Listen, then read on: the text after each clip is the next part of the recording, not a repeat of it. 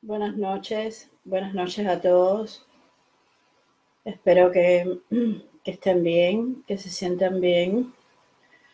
Yo no, no estoy muy bien hoy porque he estado, bueno, primero es muy tarde aquí, en Francia, en París. Ya es muy tarde, pero preferí hacer este video a partir de esta hora para que las personas que están lejos en Miami y sobre todo los cubanos que están en Miami o en México, por ejemplo, puedan... Ay, se ha caído el... Puedan estar en... Eh, déjenme arreglar un momentito aquí. Pueden, puedan estar en directo y puedan participar.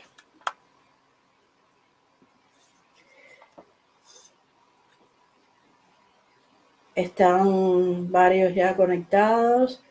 Agradezco mucho que estén aquí. Como decía, he, decidido hacer este video un poco tarde. Em, para mí, para Francia, yo sé que los españoles y los cubanos que viven en España se acuestan tarde. Para Francia es un poco tarde, bastante tarde ya.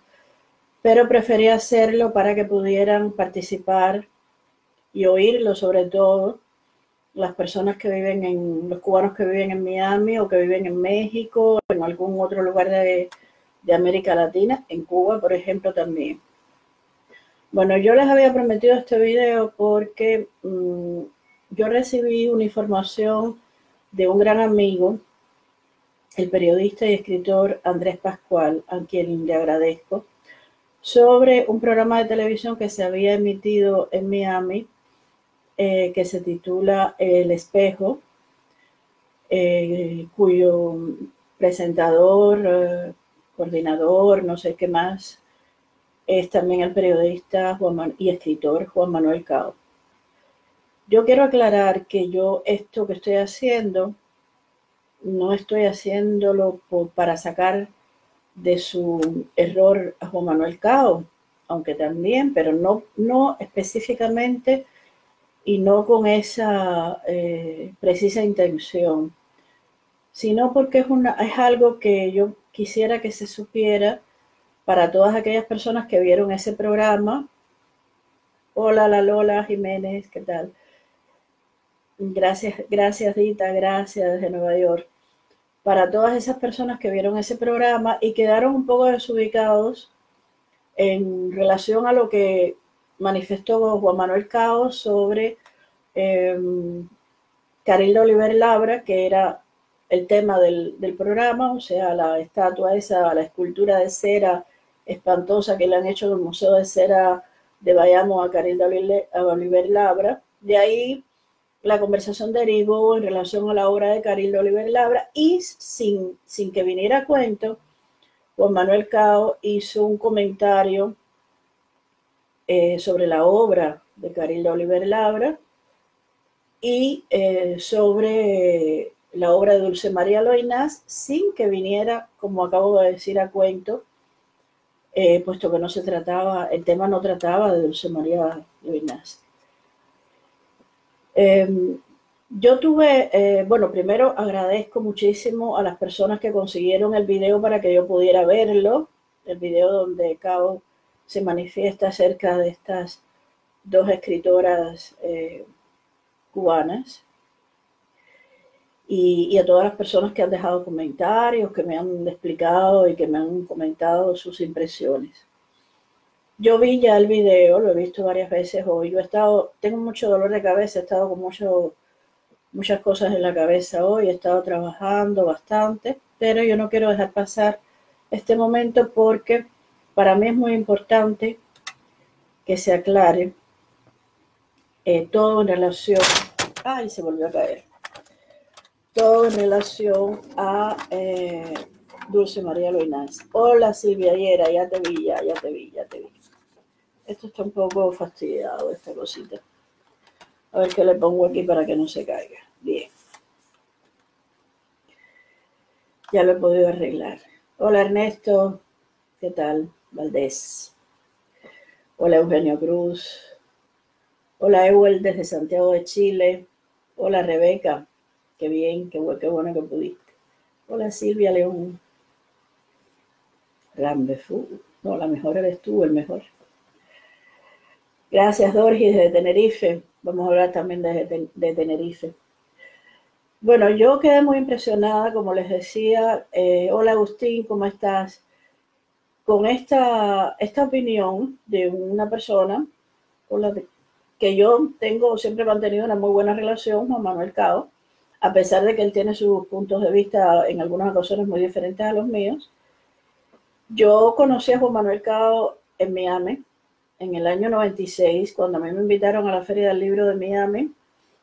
Hola Espartaco, gracias. Gloria, ¿cómo estás? Gracias. Gracias, Rebeca, abrazos. Y lo conocí en un contexto muy especial. A mí me habían invitado, la editorial Planeta hacía una, una cena en mi honor. Y eh, yo tuve a bien de invitar a Juan Manuel Cao, que estuvo sentado muy cerca de mí, que tuvo, eh, tuvimos una grata conversación, lo recuerdo muy bien. Y después en otras ocasiones yo he sido entrevistada, sobre todo en la galería eh, Unsueta Gallery de, de, Gallery, de mis amigos Ramón Unsueta y Enaida Unsueta, cuando estaba en la calle, calle 8, ya esa galería no está. Pero ahí yo hice una exposición y eh, Juan Manuel Cao me entrevistó. Y, así, en otras ocasiones, me ha entrevistado, en otras ocasiones ha hecho algunos comentarios eh, relacionados con, con, otras cosas que a mí no me han, no me han agradado, pero eso es otro tema, eso es otro tema. Esto no es como repito, hola Marilena Enríquez, ¿cómo estás? Esto no es como repito para aclarar eh, a Juan Manuel Cao, puesto que ya yo veo que él tiene, según el comentario que hizo, todo pues muy claro en su cabeza, ¿no? Sino para aclarar a los mm, espectadores que ven el programa El espejo de Juan Manuel Cao, porque eso es lo que me interesa a mí, y a las personas, hola Janet, uh, mi rebelde de amor, y a todas las personas que yo aprecio y que, eh, como yo, son admiradores de la obra de Dulce María Loinás. Yo no voy a entrar en las cosas que se dijeron sobre Carildo Oliver Labra porque sería muy largo, muy largo este, este video, porque quiero leer cosas además. Eh, pero sí quiero aclarar que yo conocí a Carilda, que yo fui amiga de Carilda, que tuve el honor de que Carilda estuviera en la presentación de mi primer libro de poemas en Cuba en el Palacio del Segundo Cabo, que la visité mucho en su casa, puesto que mi segundo esposo era el sobrino del segundo esposo, del, perdón, del primer esposo de Carilda, Uanian Mercier, que era un gran poeta también que se suicidó. La poesía de Carilda tiene, a mi juicio, un grandísimo valor. No estoy de acuerdo con lo que dijo Juan Manuel Cao.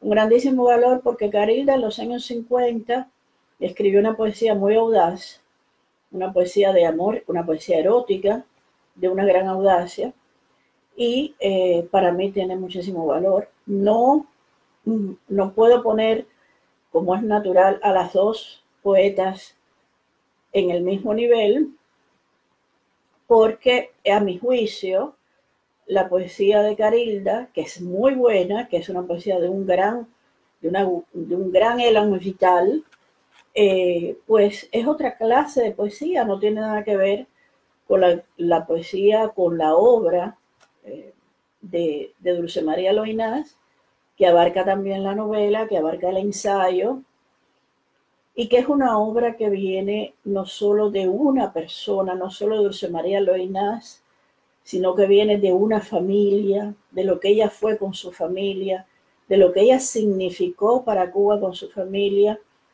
y, con, y su padre, ¿no?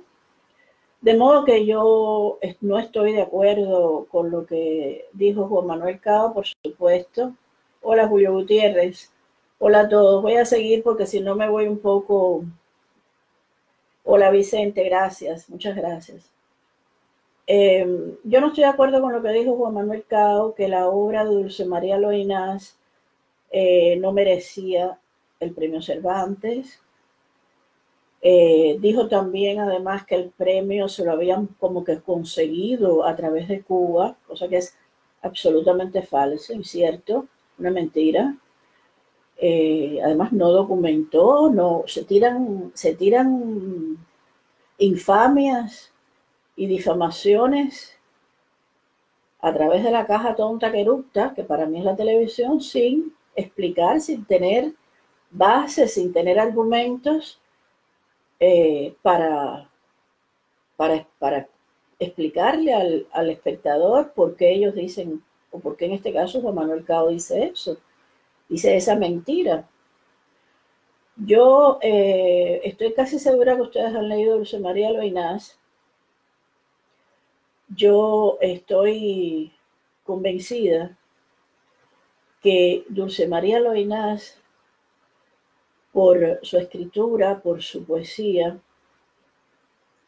y por su posición que mantuvo dentro de Cuba, de resistencia, ella lo dijo, la hija de un general no se rinde jamás y no abandona jamás. Merece el, el respeto de toda Cuba y del mundo entero.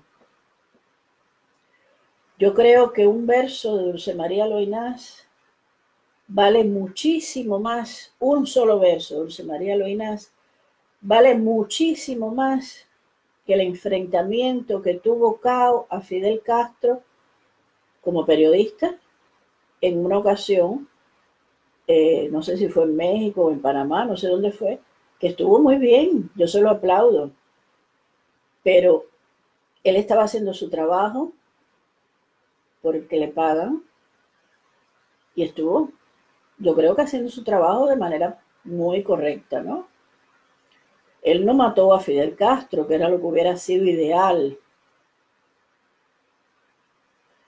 Él hizo su trabajo de periodista, hizo una pregunta y estuvo, o dos, y estuvo muy bien que se la hiciera, y el otro se la respondió. Lo digo esto porque una de las personas me dejó un comentario hoy, caballero, no aprieten que Juan Manuel Cao se enfrentó a Fidel Castro. No, Juan Manuel Cao estaba haciendo su trabajo de periodista, tuvo la oportunidad de decirle a Fidel Castro, de pedirle que le respondiera dos preguntas o una, y eso fue todo. No lo mató, no le arrancó la cabeza ahí. No, él hizo su trabajo de periodista. Bien, lo que hizo Dulce María Loinás durante toda su vida de resistencia, sola, yo la conocí, yo la visitaba todos los jueves a las 5 de la tarde. Yo fui con 19 años, quizás la más joven discípula de Dulce María Loinás.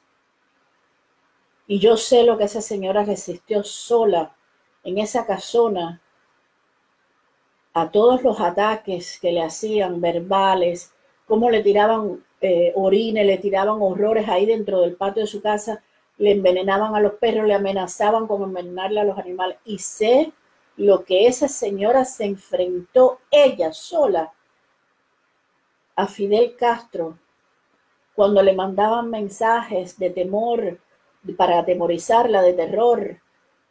Y sé lo que esa señora respondió. No soy la única en saberlo. Muchas personas lo saben. Hola Mauri Verdesia. De, modo que toda la obra de Dulce María Loinás y todo lo que significa Dulce María Loinás para Cuba significa muchísimo más que ese enfrentamiento de periodista a tirano que tuvo Juan Manuel Cao que yo se lo aplaudo, lo, lo, agradezco. Ese fue, él hizo su trabajo bien hecho. Bueno, me parece muy bien. Pero Dulce María Loinás es otra dimensión. A ver si los cubanos en algún momento, oye, hola hermano Batista, hola hermano Bobby, ¿cómo estás? Gracias por estar. Tú siempre fiel, leal. leal. Gracias. Eh, de modo que hay que entender de una vez, los cubanos deben aprender de una vez a equilibrar, a poner en una balanza las acciones y las, eh, reacciones y la obra de alguien como Dulce María Loinás a lo que hace un periodista que está haciendo su trabajo en un momento determinado y que estuvo muy bien que lo hiciera. pero la obra de Dulce María Loinás es una obra de vida, es una obra eh, literaria importante que todo el mundo ha reconocido. Lo ha reconocido el mundo entero. Llegó un poco tarde ese reconocimiento en Cuba, pero el mundo entero reconoció desde Egipto, pasando por España, por Europa, a Dulce María Loinás y toda América Latina. La llaman, la llamó el rey eh, don Juan Carlos cuando le entregó el premio Cervantes, un premio muy merecido y que ahora voy a contar cómo fue que se lo dieron, le llamó la Dama de América. La Dama de América, Dulce María Loinás, tiene eh, eh, una inmortalidad, una eternidad que con, me disculpan, pero que no tendrá eh, esa entrevista con Fidel Castro de, Juan Manuel Cao, que es muy valiente y todo, pero era un periodista haciendo su trabajo.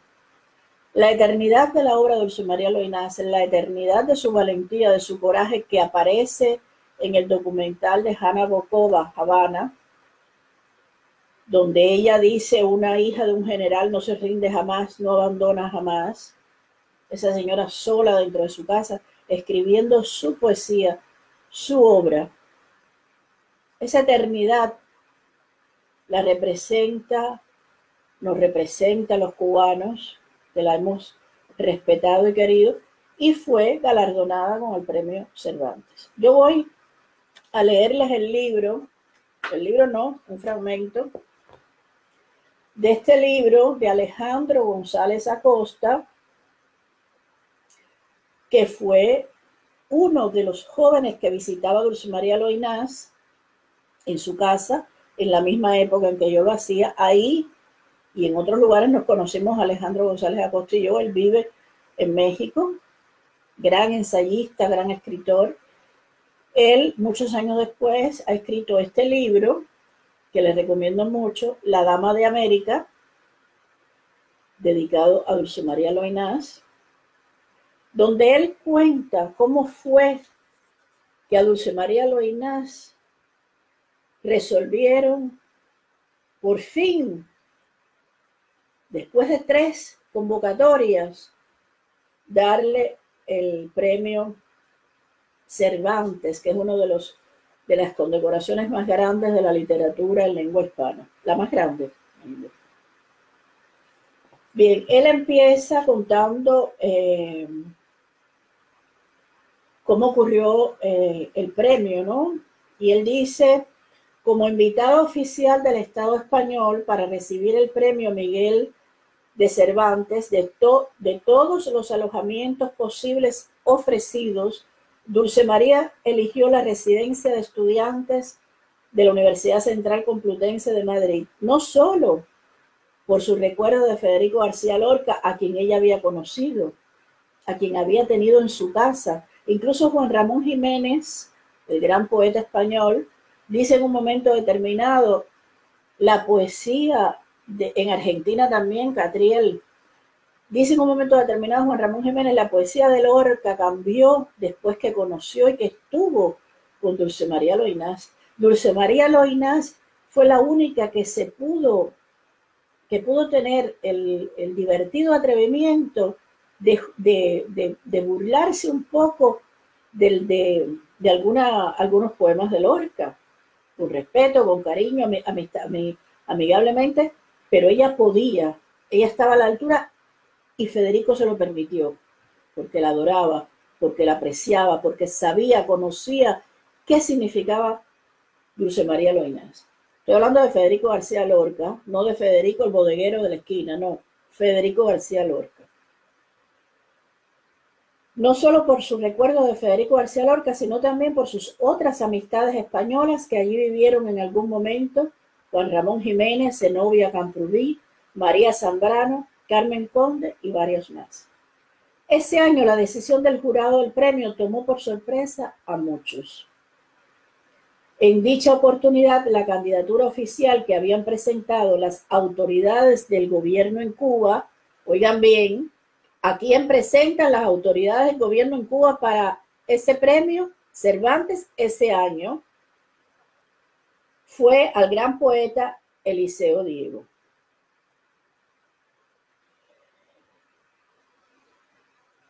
Eh, algo, dice eh, Alejandro, ha sido silenciado y ocultado y es que la propuesta del premio a Dulce María no salió de Cuba. O sea, Cuba no propuso a Dulce María para el premio, sino de México. En 1991, gracias a la gentil disposición y el generoso apoyo de dos buenos amigos, cuenta Alejandro González Acosta, los escritores Gonzalo Celorio Blasco, entonces coordinador de difusión cultural de la UNAM, Hernán Lázara Zavala, director de literatura, se publicó un cuaderno con dos poemas de Dulce María, que edité y prologué en la prestigiosa colección universitaria Material de Poesía, con una amplia tirada de ejemplares. Era muy sencillo, pero también digno y sobrio. Y además era la primera vez que se editaba algo de Dulce María en México. Y en la isla apenas poco tiempo antes, Jorge Iglesias Bielinski había publicado sus poemas Náufragos, mientras en España Felipe Lázaro reeditaba La novia de Lázaro, que ahí lo tengo. Porque yo sí tengo todos los libros de Dulce María Loinás, que no son única y exclusivamente su novela El Jardín, no, su gran novela El Jardín y otros grandes libros que se obvió en ese programa infame de Juan Manuel Cao. Cuando apareció impreso, además de enviarle a Dulce María un paquete de ejemplares de, lo que de los que me correspondían, le llevé uno como obsequio a Eulalio en sus oficinas de insurgentes y Miguel Ángel de Quevedo, donde se encontraba el edificio del Grupo Ferrer. Lo recibió gentilmente como el hidalgo español que era. Hablamos sobre la autora y me despedí, pues era horario de trabajo. Esa misma noche, cuando llegué a casa, recibí asombrado la llamada entusiasta de Eulalio, cuya voz se oía emocionada.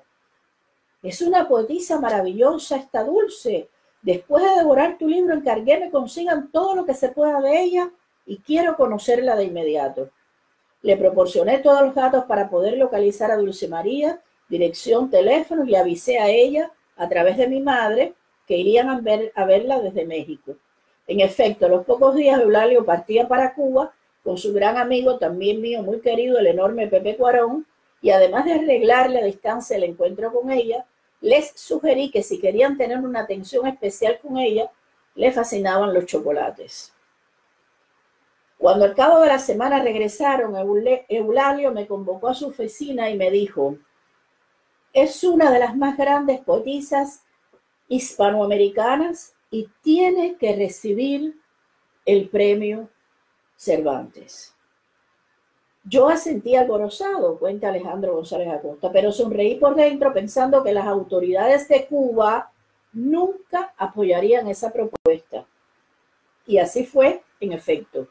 Ese año el gobierno de la isla propuso como su único candidato oficial y con todos los apoyos necesarios al gran poeta Eliseo Diego. Eulalio era suave pero muy firme en sus propósitos, clave de su éxito como persona, escritor y empresario, y se lanzó a España para hablar con don Inocencio Arias y hacer que conociera la obra de Dulce María y su personalidad.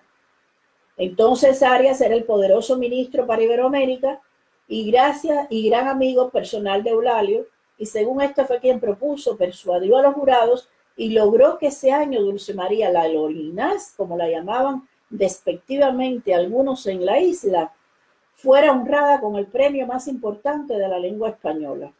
La misma noche, cuando se dio a conocer el premio, recibí en México una llamada telefónica de mi buen amigo Eliseo Alberto de Diego, quien con su voz profunda y de suave reproche me dijo, al fin te saliste con la tuya, Ale. Te felicito y me alegro, pero por dárselo a Dulce, no se lo dieron a mi papá. Al poco tiempo, el gran Eliseo fue galardonado con el Premio Internacional Juan Rulfo de la Feria Internacional del Libro de Guadalajara, Premio Continental Latinoamericano que se hombrea con el Cervantes. En realidad, a la tercera fue la vencida. Dulce María Loinás fue postulada dos veces antes del premio Miguel de Cervantes. La primera fue en 1984 y la propuse yo, o sea, Alejandro González Acosta, que en aquel momento visitaba, como ya dije antes, la casa de Dulce María, como también la visitaba yo. Yo tenía 19, 20 años. Fui yo creo que la más joven discípula de Dulce María Loinás. Por eso yo tengo que aclarar esto porque a mí en esto me va el alma, me va el corazón.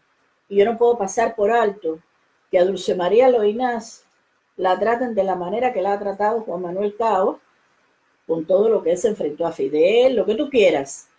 Él estaba haciendo su trabajo de periodista, que lo hizo muy bien, lo felicito, lo vuelvo y lo repito, pero esta señora es Cuba.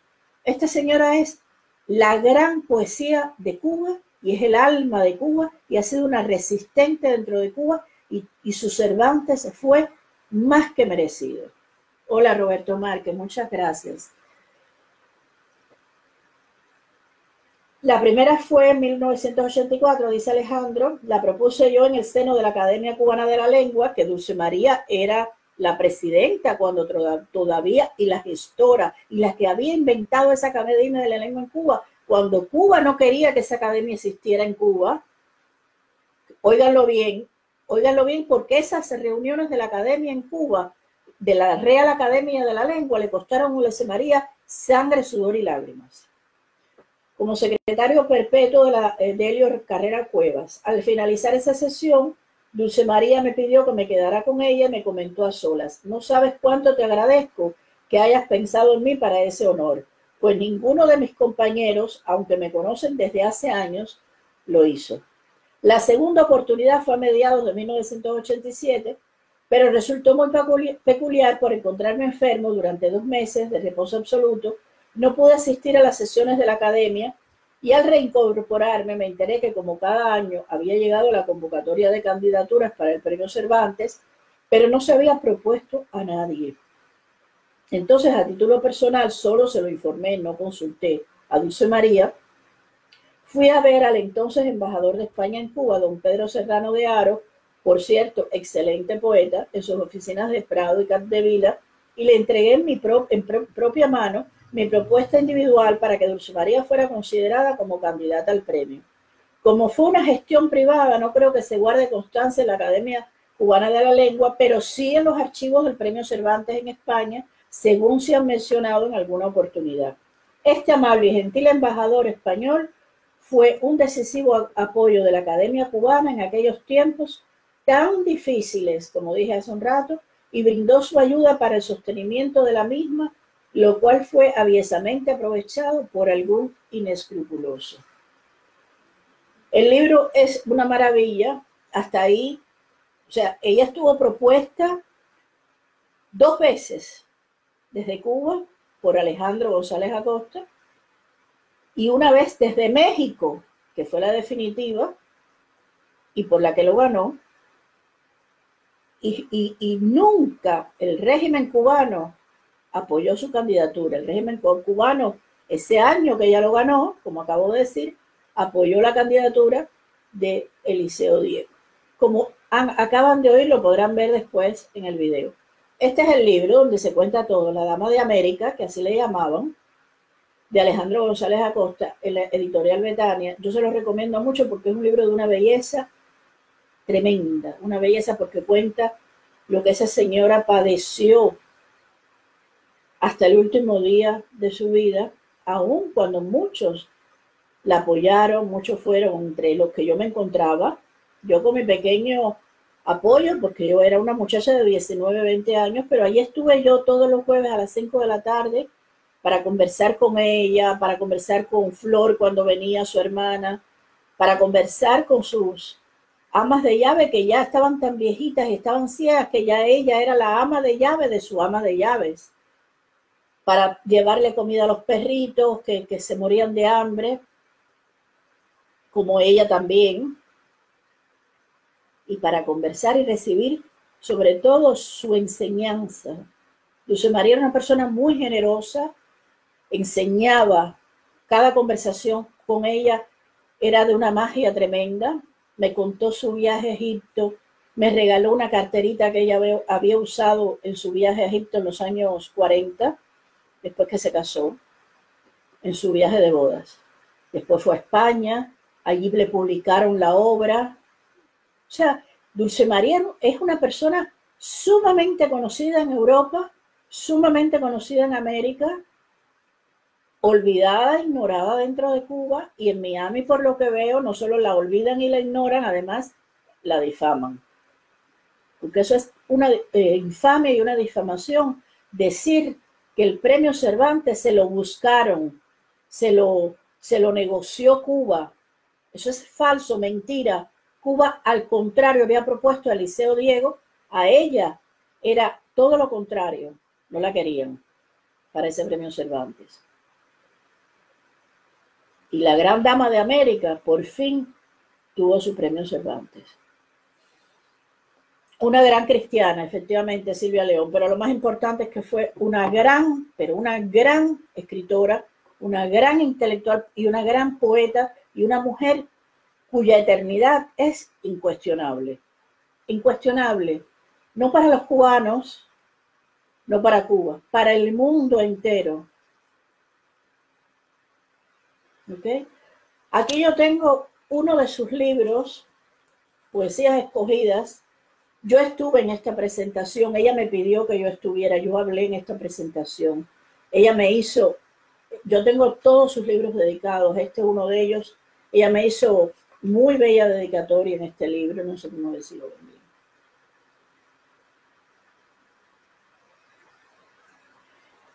a Zoe, la de la casa desaparecida, con el deseo de no desaparecer en su recuerdo, Dulce María Loinás. Como ustedes comprenderán, yo, por esta dedicatoria, yo estoy aquí hoy, yo estoy esta noche hoy, porque yo no puedo pasar por alto que una persona que fue tan generosa, no solo conmigo, con tanta gente, se diga lo que se ha dicho de manera tan ligera y tan desagradable, tan puerca, de una señora con tanto amor, tanto valor y con tanta eternidad, como este poema que se llama así, Eternidad. No quiero, si es posible, que mi beneficio desaparezca, sino que viva y dure toda la vida de mi amigo, Séneca. En mi jardín hay rosas. Yo no te quiero dar las rosas que mañana, mañana no tendrás. En mi jardín hay pájaros con cantos de cristal. No te los doy que tienen alas para volar. En mi jardín abejas labran fino panal. Dulzura de un minuto, no te la quiero dar.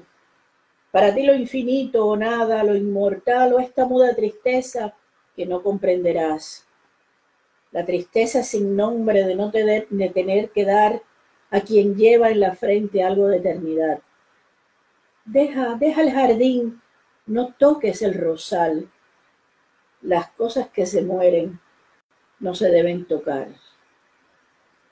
Ustedes han oído ese poema, ustedes creen, ustedes creen que vale más, como me dijo alguien hoy, un enfrentamiento de un periodista cuyo trabajo era ese, enfrentarse a Fidel Castro, a este poema, que es un enfrentamiento no solo a un régimen, es un canto de vida a la humanidad. Señores, pongan un poquito de respeto los pies, déjenlo, sáquenlo del fango, de alguna, de algún, en algún momentico, abran los brazos y traten de volar. ¿Eh? Traten de irse un poquitico para las nubes. Dejen el fanguizal. Dejen el charquero de neón. El charco de neón, abandónenlo un ratico. ¿Ok? Y vuelen un ratico hacia las nubes. Porque de eso se trata. La vida es eso. Eso es lo más grande que tiene la vida. ¿Ok? Bien. Ahí ella habla de un jardín. Ya vieron el libro la hermosa dedicatoria que me había hecho.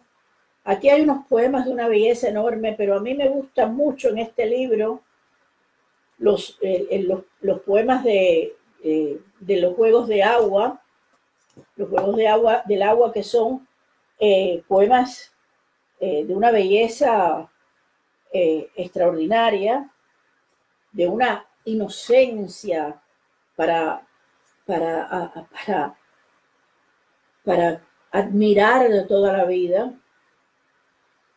Agua escondida. Tú eres el agua oscura que emana por adentro de la roca. Tú eres el agua oscura y entrañable que va corriendo abajo de la tierra, ignorada del sol, de la sed de los que rastrean la tierra, de los que ruedan por la tierra. Tú eres el agua virgen sin destino y sin nombre geográfico. Tú eres la frescura intocada, el trémulo secreto de frescura, el júbilo secreto de esta frescura mía que tú eres, de esta agua honda que tú has sido siempre, sin alcanzar a ser más nada que eso, agua negra sin nombre y apretada, apretada contra mí. Aquí hay amor, erotismo, hay, hay, hay una visión del mundo, aquí hay todo. La grandeza de esta señora no se puede discutir, no se puede decir que a alguien se le negoció un premio Cervantes, porque además de eso, yo conocí a Víctor García de la Concha, yo he conocido a varias personas del premio Cervantes. El premio Cervantes no, no es el Princesa de Asturias, no se regala, no es eso. ¿Ok?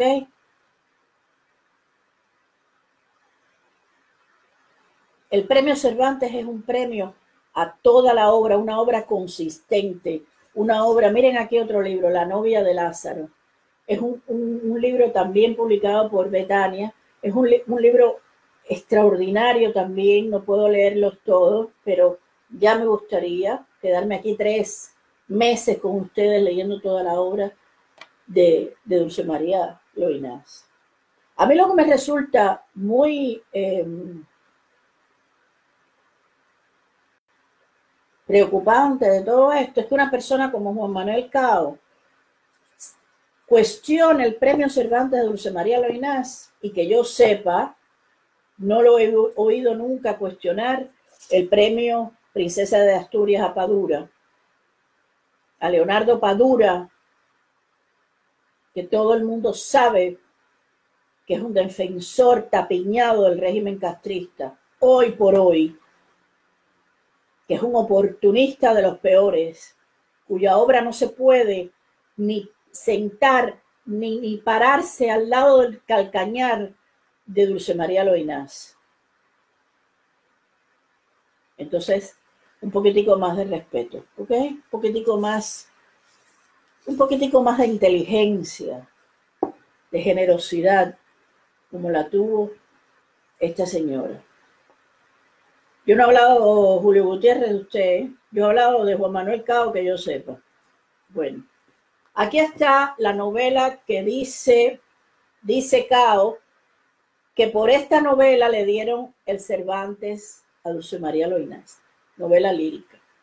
Esta novela quiero aclarar que una vez más que Cervantes los dan por la totalidad de una obra, el conjunto de una obra, no por una novela.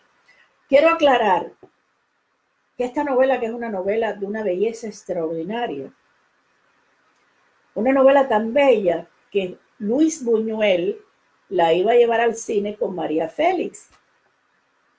Pero María Félix no lo pudo hacer por los contratos que ella tenía. Esto me lo ha contado Alejandro González Acosta que como ya dije antes vive en México y que ha escrito ese libro maravilloso, La Dama de América, sobre Dulce María Loinaz. Perdón. Esta novela además era la novela que estaba ya terminando porque estaba en su mesita de noche, marcada ya casi en la última página, cuando murió José Lezama Lima, el jardín de Dulce María Loinaz.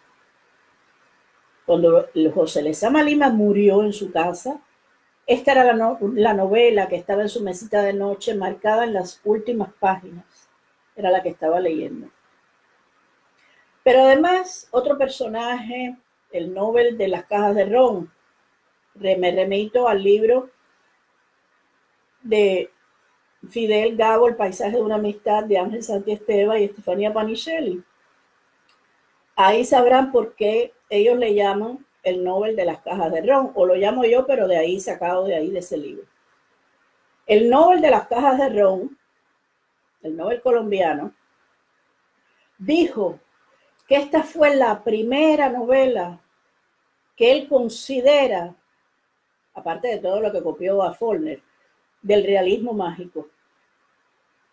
Esta, El Jardín, que esta fue la novela que inspiró a que él escribiera eh, su obra, El Jardín de Dulce María Loinás. Esta obra, que como ven, está publicada, miren la letra de la, es una novela bastante gruesa. También me la dedicó, porque yo tengo todos los libros de ella dedicados. Aquí lo tienen.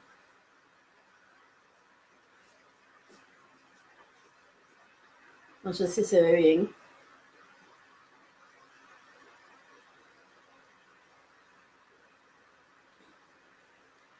Dice a Zoe Valdés, que no sabe aún si Bárbara ha muerto, porque yo leí la novela antes de ir a su casa y que ella me la, me la diera dedicada.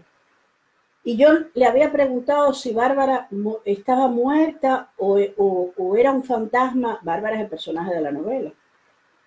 A Zoe Valdés, que no sabe aún si Bárbara ha muerto, bien quisiera decírselo, porque ella es digna de saberlo. Su vieja amiga, Dulce María Loinás, 18 de febrero de 1982.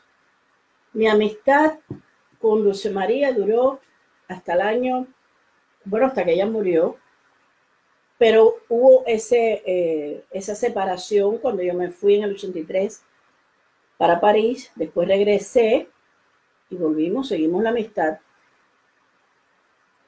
Era una de las personas más leales, más generosas.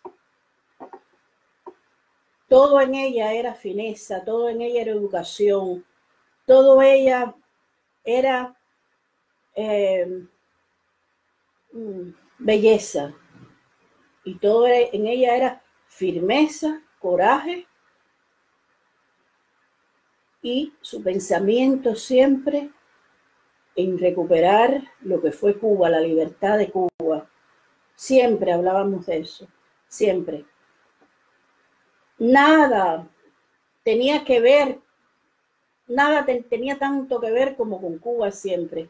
Y todos los que allí íbamos con riesgo y peligro, porque era la época en que le, vigilaban la casa, le rodeaban la casa todas las noches, todos sabíamos que estábamos siendo vigilados y sabíamos que a lo mejor las conversaciones estaban grabadas.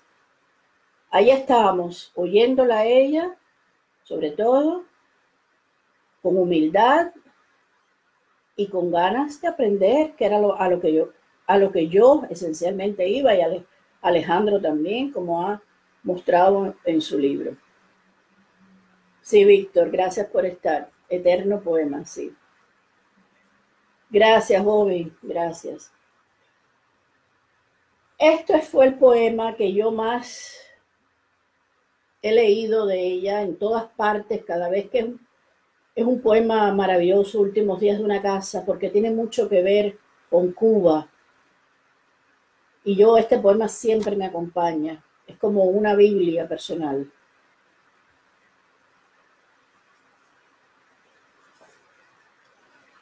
Es que yo no sé cómo la gente cuando no sabe o cuando, o yo no sé si es que lo hacen a propósito, con maldad, se lanzan a hacer este tipo de cosas.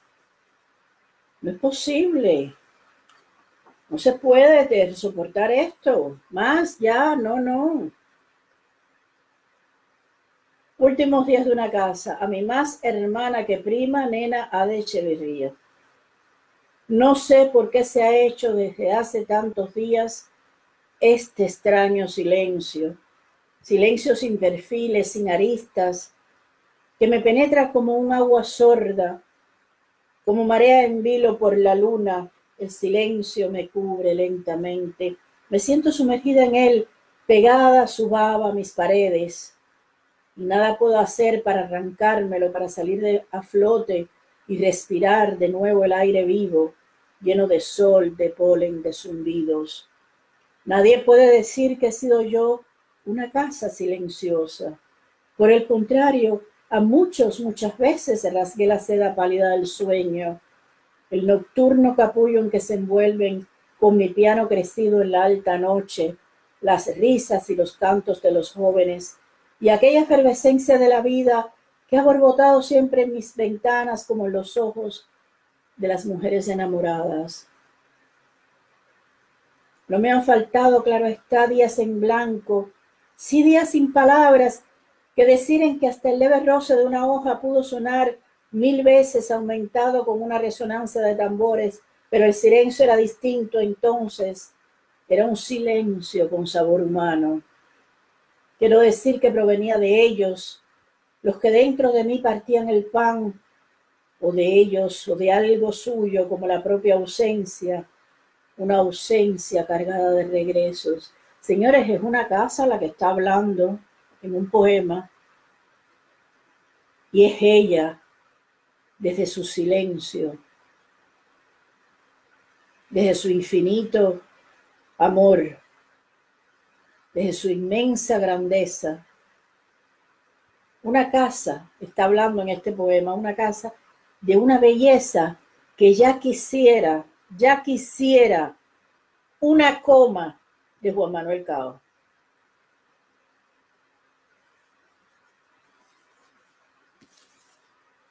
Aquí está un poema que escribió hoy en Egipto.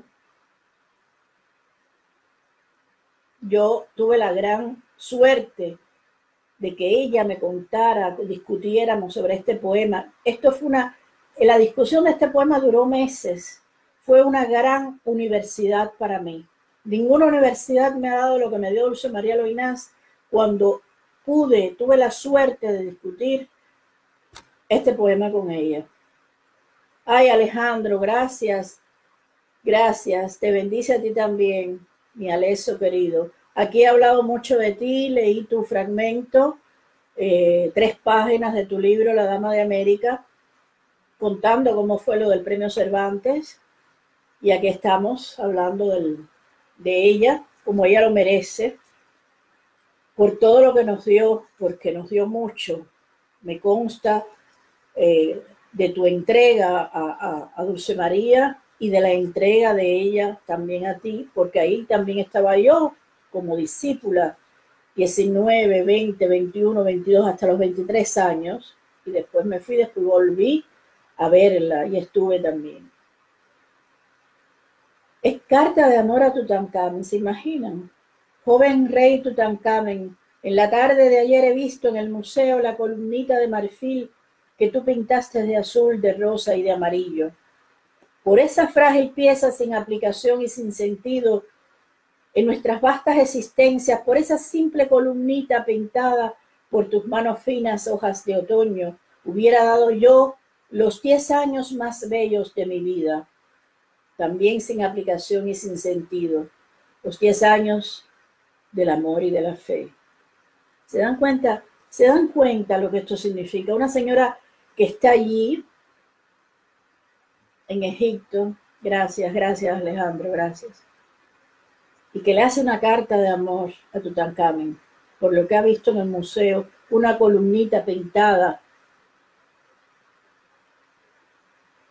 Es que no sé, es que no, señores, lean, vuelen un poquito, ya se los digo, saquen, saquen eso, esos esos, esos pies, por decirlo de manera elegante, de ese fanguizal cotidiano y huelen un poco, vayan un poquito a las nubes.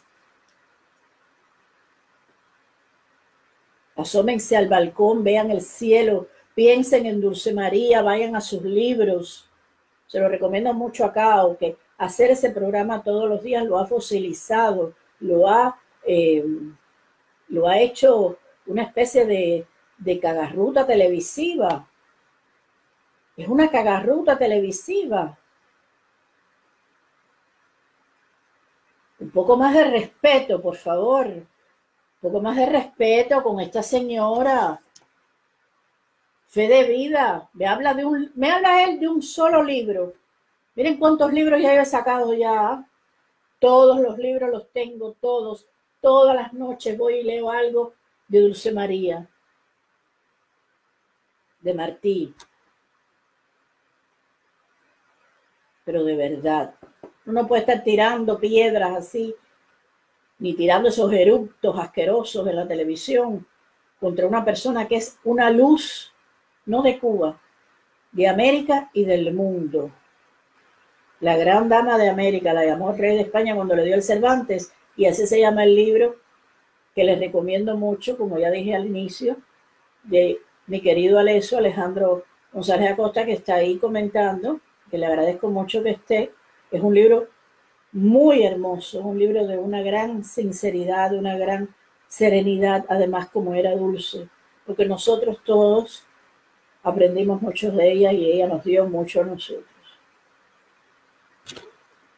Y este libro un verano en Tenerife, por eso le dije a, la persona que estaba al inicio que iba a hablar de Tenerife, porque este es un gran libro que muy pocas, yo no sé, eh, los cubanos, pero creo que muy pocos cubanos lo han leído, pero en España mucha gente lo ha leído. Es un libro de una gran, eh, es un libro también, eh, todo, lo, todo es como una leyenda, como un como un viaje de su estancia, de su viaje a Tenerife, pero al mismo tiempo es una novela, es literatura pura.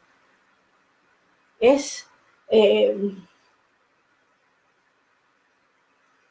por ejemplo, vuelvo, abro así al azar, ¿no? Vuelvo a tomar el hilo del relato en el momento en que la embarcación pirata se surtía de agua y provisiones en el Abre de Antequera. Allí la despachaba el capitán si su propósito era permanecer por algún tiempo en sus lares, no sin antes fijar, ya se comprende, la fecha en que la tripulación debería volver a, buscarlo. De lo contrario, su navío esperaba por él en el boquete, casi incrustándose al talud. ¿Quién escribe así hoy en día prosa con ese nivel de ritmo poético? ¿Quién?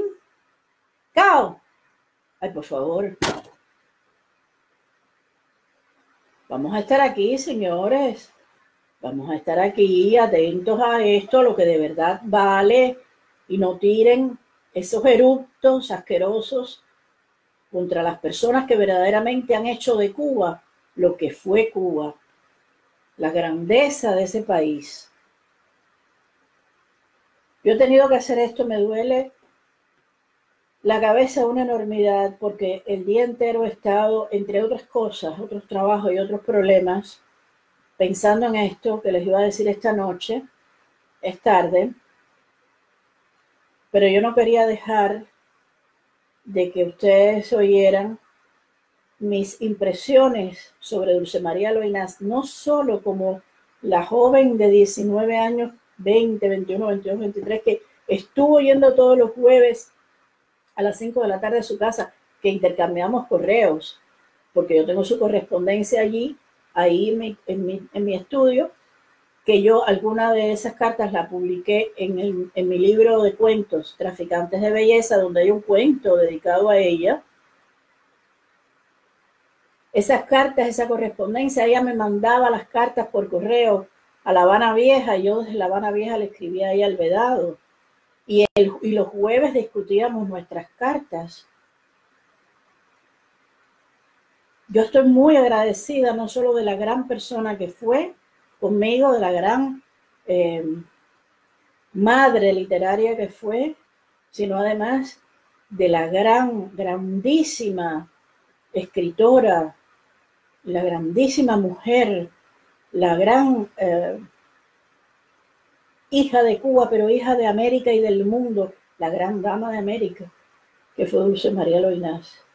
De haberla conocido, de haber estado en su casa, de haber tenido el grandísimo privilegio de que ella leyera mis poemas y fuera muy crítica, porque hubo un poema que a ella le molestó mucho y me lo, me lo dejó saber, no solo, eh, no a través de mí, porque le daba mucha... Eh, me lo dijo de otra manera, pero lo dijo, me lo dijo más claro a través de otra persona. Y yo se lo agradecí mucho y se lo sigo agradeciendo en enormidad porque me enseñó, me enseñó eh, lo que en poesía uno puede decir, lo que no puede decir. Entonces, por favor, eh, ya ese, ese, esa falta de educación, esa falta de, de sensibilidad, esa falta de amor por lo que de verdad nos definió alguna vez, por lo que de verdad nos describió y todavía nos describe en esa elegancia que es su pluma, su verbo y su, y su haber estado en este mundo. Hay que respetarlo, respetémosla, porque ella lo merece. Yo voy a dejar que otras personas, quizás Luis Enrique Valdés Duarte, eh, Víctor que anda por ahí, Víctor um, Ángel, que quizás tomen la defensa de, de Carilda Oliver Labra, que también yo la conocí y que tengo también mi criterio y mi agradecimiento por ella de otra manera diferente, que no es lo mismo, no es, no es lo mismo que Dulce María, Dulce María. Pero ninguna de las dos merece ese ataque tan, tan asqueroso. Además, lo que más me, me, me llamó la atención fue que los otros dos personajes que estaban allí al lado de él, pues dejaron que él dijera esas estupideces, ¿no? Yo a uno no lo conozco, lo he oído en algunos, eh, en algunos debates ahí en Facebook, en Internet. Me parece una persona muy inteligente de política, sabe bastante. Él fue el que sacó el tema, creo, de María, pero después no, no rebatió a cabo. Y César Vidal, que lo conozco muy bien, al que yo le pregunté, incluso hoy por WhatsApp, ¿tú conoces esto? Y me dijo, mira, me vas a disculpar, pero a lo mejor lo hice por ignorancia, porque no conozco demasiado el tema. César Vidal yo lo conozco y yo sé que si me dice eso es porque es cierto. ¿no? Pero aún, así yo creo que eh, eh, fue muy feo que se quedaran callados pero más feo fue todavía, hola Pupito, besitos. Hola Fran, Yerena, gracias, bendiciones igualmente. Fe Vida, Adriana, Fe de Vida es una gran obra. Es que todo en ella es grande. Todo en Dulce María es grande. Gran premio Cervantes, muy merecido. Merecía el Nobel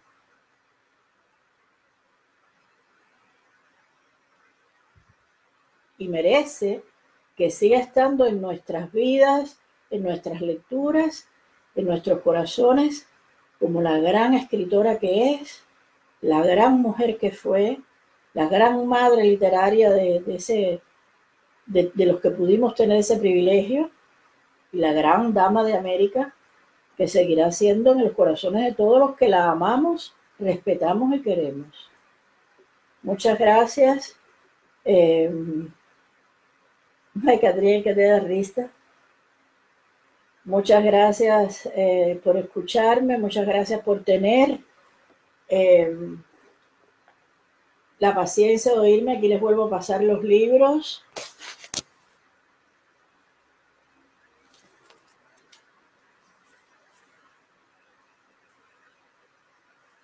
Carta de amor a Tutankamen. Últimos días de una casa, que leí un fragmento. Jardín. Todos están dedicados, como les pude mostrar hace un rato.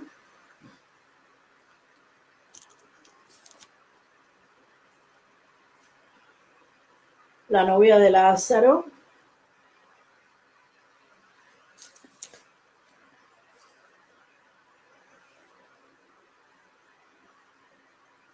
Poesías escogidas que yo estuve en esta presentación porque ella me lo pidió. Gracias, Aleso. Sí, éramos muy amigas. Yo incluso, tú, lo sabes, Alejandro, Aleso, que nos reíamos mucho. Em, no, ella no, no elogiaba con, facilidad Y eso se lo agradecí también mucho y, ella me pidió que yo estuviera ahí, yo hablé en esta presentación, como les mostré hace un rato, el libro está eh, dedicado con una dedicatoria muy bonita. Bueno, todos están eh, dedicados.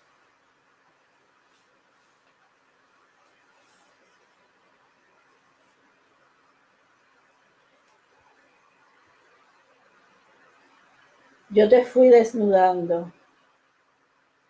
Yo te fui desnudando de ti mismo, de los tus superpuestos que la vida te había ceñido.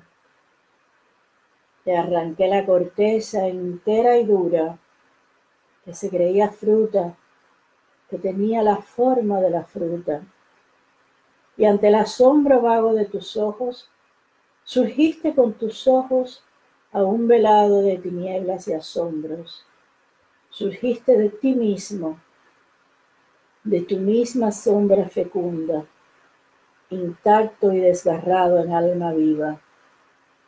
Señores, no hay necesidad aquí de más nada de erotismo ni de más nada.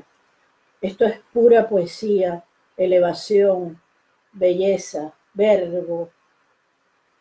Y cuando se conoce la vida de esta señora, la entrega de esta señora de su vida, es para tirarse de rodillas, nada más, cuando, nada más que de pensar en ella.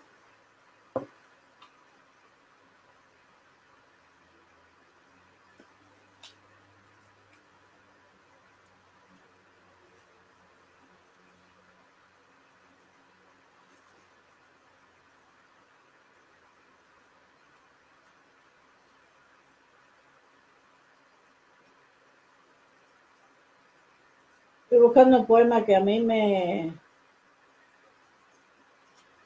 me deja siempre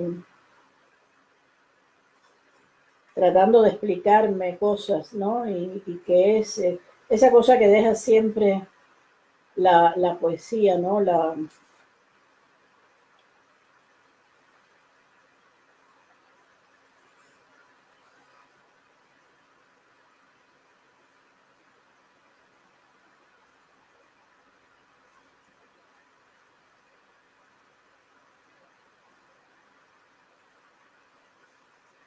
el anhelo, ¿no?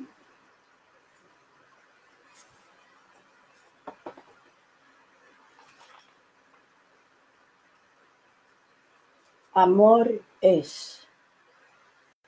Amar la gracia delicada del cisne azul y de la rosa rosa. Amar la luz del alba y la de las estrellas que se abren y la de las sonrisas que se alargan. Amor es ponerse de almohada amar la música del agua y la dulzura de la fruta y la dulzura de las almas dulces, amar lo amable no es amor. Amor es ponerse de almohada para el cansancio de cada día, es ponerse de sol vivo en el ansia de la semilla ciega que perdió el rumbo de la luz, aprisionada por su tierra, vencida por su misma tierra. Amor es desenredar marañas de caminos en la tiniebla. Amor es ser camino y ser escala, Amor es este amar lo que nos duele, lo que nos sangra por dentro. Es entrarse en la entraña de la noche y adivinarle la estrella en germen, la esperanza de la estrella. Amor es amar desde la raíz negra. Amor es perdonar y lo que es más que perdonar es comprender. Amor es apretarse a la cruz, clavarse a la cruz y morir y resucitar. Amor es resucitar. Ay, por favor, Cauca Garruta. Por favor, por favor, Cauca Garruta. Y aquí tienen la Dama de América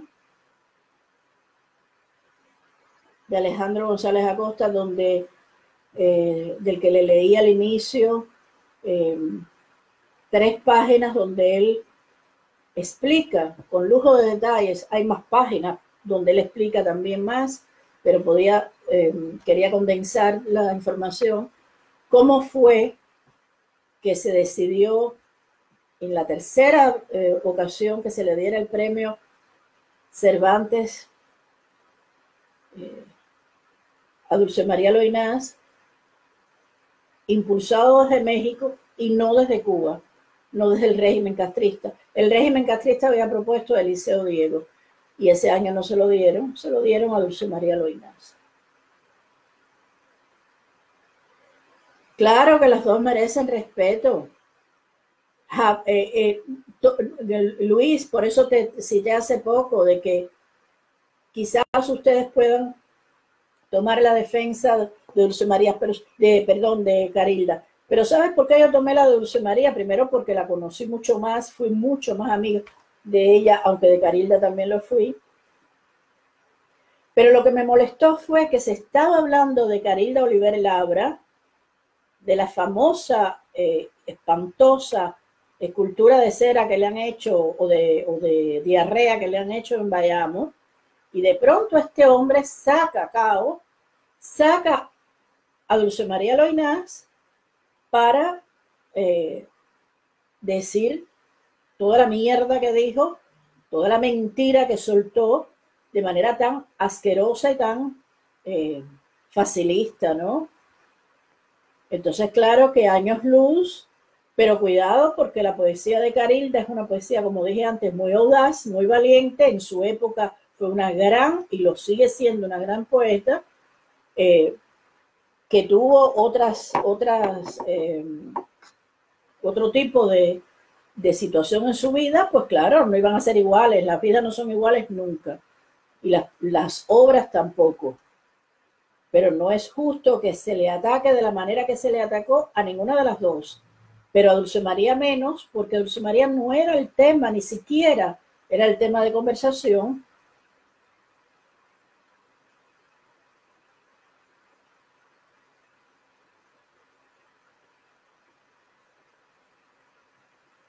Exacto, San Fernando de Camarones.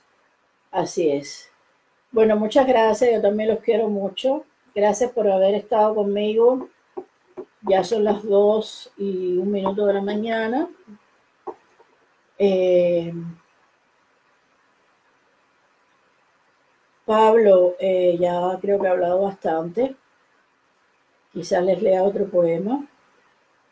Pero les agradezco mucho. Ojalá que este video se vea, eh, lo vean cada una de las personas que vieron la infamia de ese programa de Cabo para que puedan eh, conocer más de Dulce María Loinás, la verdad sobre su premio Cervantes. Lean ese libro de Alejandro González Acosta, La Dama de América, publicado por la editorial Betania, y estudien, amen la obra poética, narrativa de Dulce María Loinás. Así es, eh, Gen Así es. Hay que salir a defender la obra de Dulce María, la obra de Carilda y al premio Cervantes. Ahora, eso sí, nadie cuestiona el premio Princesa de Asturias de, de Caradura. Nadie lo cuestiona. Que ya quisiera, ya quisiera un punto, un medio punto de padura, ponerse en el dedo chiquito de una coma de Dulce María Loinás, ya quisiera. Quiero de comparación. ¿Viste lo de qué lindo eso? Yo te fui desnudando. Es que es una belleza, es una belleza. La obra de esta señora eh, perdóname que te disculpe, este, la obra de esta señora y, la obra, y cómo, cómo decir que el jardín no da para tanto. Como yo dije ya, que es una, como lo expliqué, que me, que me, lo, me lo contó Aleso hoy, hoy eh, lo que había dicho el, premio Nobel colombiano de las cajas de Rones, que todavía, toda su obra, después de copiar, claro, a, a, a, a Forner, había salido de aquí del jardín. Y Luis Buñuel y María Félix iban a hacer esa, esa novela en el cine. Lo que María Félix no lo puede hacer por un contrato.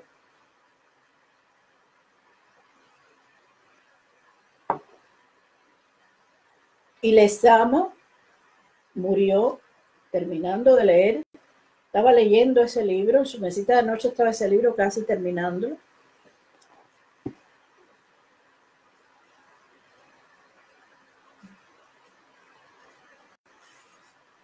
La novia de Lázaro.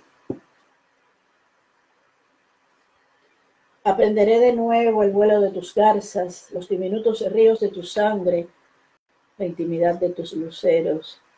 De la muerte rosada en punta de ala, borraremos las cicatrices mínimas, luz o sombra de tu carne resucitada. Encontraré entre todo lo perdido la miel que te era grata, la canción que te hacía sonreír y la que un día te ganó una lágrima. Y otra vez anudaré una cinta a mi trenza, una ilusión de novia a mi ventana. Pero, ¿y si fueras tú quien no me hallaras? Si fueras tú quien en vano buscaras lo que dejaste tras esa ventana vanamente engalanada, y en la miel no adivinaras tus abejas, y en la ofrenda de mí misma solo tuvieras la de mi fantasma. Si fueras tú quien a tu vez me hallaras sorda, me besaras fría, me sacudieras rígida, tú quien me sorprendiera muerta, muerta sí, inexorablemente muerta hasta la sonrisa, liberada ya de cuanto pudiera ser gloria o tragedia en nuestro destino. Ah, te estremeces, Lázaro, porque hasta ahora tú solo has querido seguir siendo tú mismo y no te has preguntado si yo sigo siéndolo. He podido morirme ante tus ojos que me ven viva todavía. He podido morirme hace un instante del encuentro contigo, del choque en esta esquina de mis huesos con tu rostro perdido. Choque de tu presencia y mi recuerdo, de tu realidad y mi sueño, de tu nueva vida efímera y la otra que ya te había dado yo en, él y donde tú flotabas perfecto, maravilloso, inmutable, rabiosamente defendido. Sí, yo soy la que ha muerto y no lo sabe nadie. Ve y dile al que pasó que vuelva, que también me levante, me eche a andar. La novia de Lázaro. Amor es resucitar.